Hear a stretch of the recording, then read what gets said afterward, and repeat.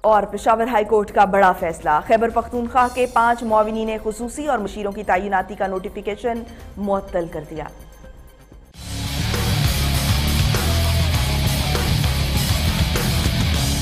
Peshawar high court کے justice اکرام اللہ نے معاونین خصوصی اور مشیروں کی تعیناتی معطل کرنے کی درخواست پر سماعت کی۔ تعیناتی معطل کرنے کے حوالے سے درخواست رکن صوبائی اسمبلی خوش دل خان کی جانب سے جمع کرائی گئی تھی، جس میں موقف اختیار کیا گیا تھا کہ غیر منتخب افراد کو معاون خصوصی اور مشیروں کے عہدے پر فائز کیا گیا ہے۔ ملک کی معیشت کی حالت بہتر نہیں ہے اور یہ لوگ قومی خزانے پر بوجھ ہیں، لہٰذا استدا کی جاتی ہے کہ معاونین خصوصی اور مشیروں کی تعیناتی معطل کی جائے۔